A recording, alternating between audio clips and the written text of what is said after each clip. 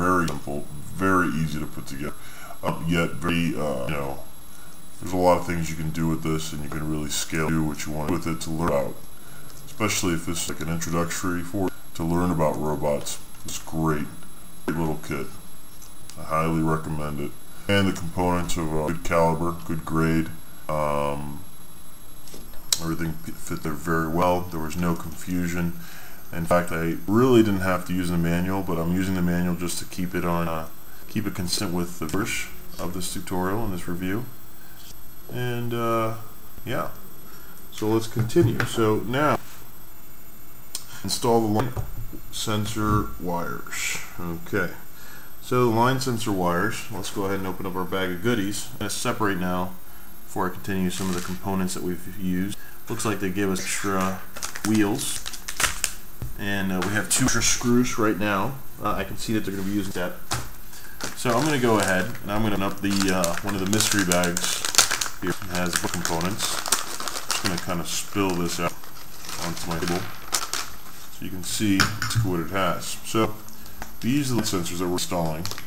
These two here. I'm going to set aside. These are the actual cables that they're asking to install in step 9. And the these are jumper cable we're going to need later on. These are, we have some LEDs, infrareds, and we'll find out all about these components just in a bit. I'm not going to those just yet. So let me separate those for now.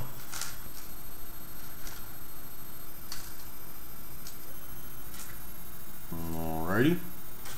Now, step 9, we have to install these. So basically it says, carefully feed each 10 inch 3 pin extension cable through the center chassis slot. So for this we're going to have to turn it upside down right there and there's a slot right there in the middle. So these are pretty big and only one of these fits through at a time. Now I'm going to make the assumption that they're going to go through to the back. I'm going to feed it through and feed it to the back.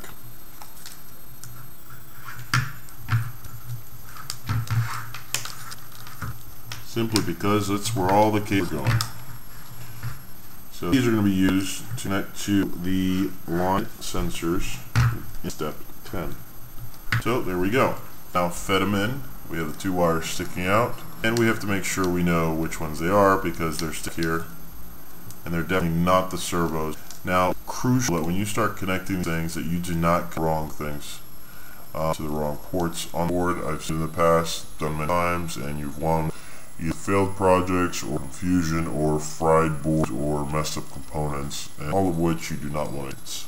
So, having said that, continue on to step 10, which is install the QTI line sensors. So I'm going to go ahead and open one of these up. Now, let's see. No, I don't. That was going to be my razor. Don't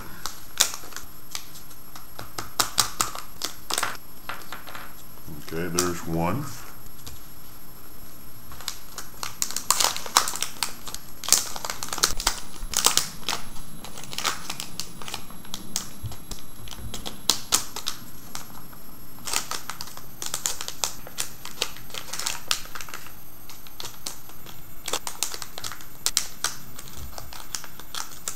There is the second one.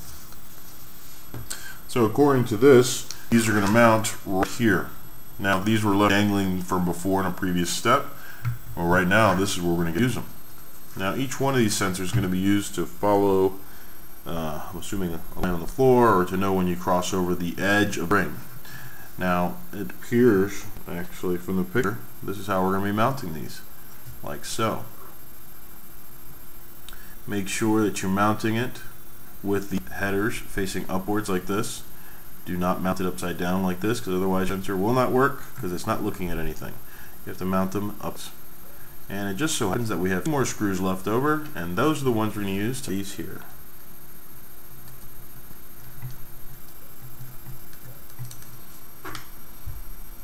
You can choose to screwdriver right off the bat or you can go ahead and mount it with your hand. Either one is fine. Um, Remember you're screwing this in directly to the board, so do not tighten it too much. You don't want to break the actual sensor.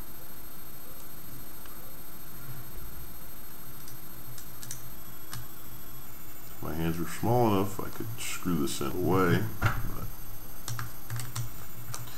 Also, make sure that the parallel to the scoop in front, or the shovel, however you want to refer to.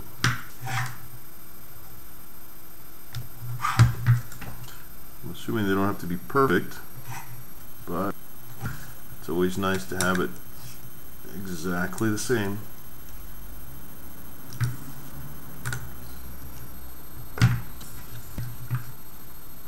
Take your time building the robots. Never try to hurry. Um, there is no rush. You're not going to get anything out of it. And uh, you'll get to understand completely what you're trying to, what you're trying to do. Uh, it looks like this one here. Alright. So, what's crucial to know is how you're going to plug these in now. So as you can see, the sensors are mounted. Now, how are we going to plug them in? So, if we look here at the sensors, now you can't see what we have a BRW, BR and W. Now, picture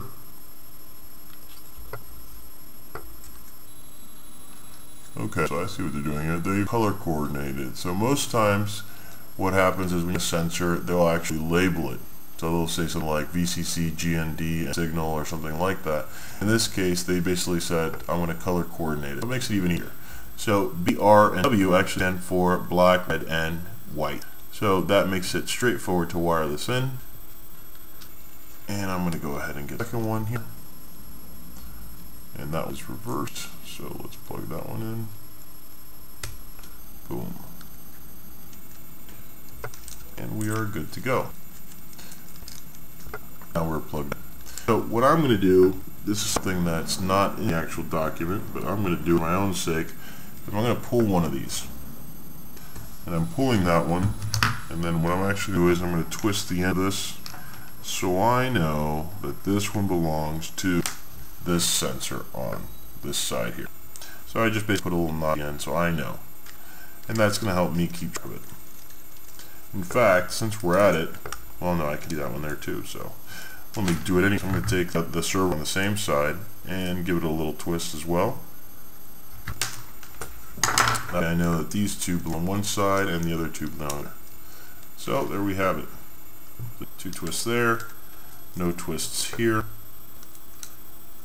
and we know what they belong to. Again, it's very important you keep track of all of where everything gets plugged into. You do not want to fry it. So, we're ready on that sense. We've almost completed the construction of this. And actually what it says to do now is step one to make the connection. So that's going to end off here. I'm going to go on to this part where we're actually working on the PCB and plugging it in. That concludes us building all the mechanics of the actual Sumo bot. As you can see, did not take much time at, at all. And it was very simple together. The device is really nice, very simple, very straightforward.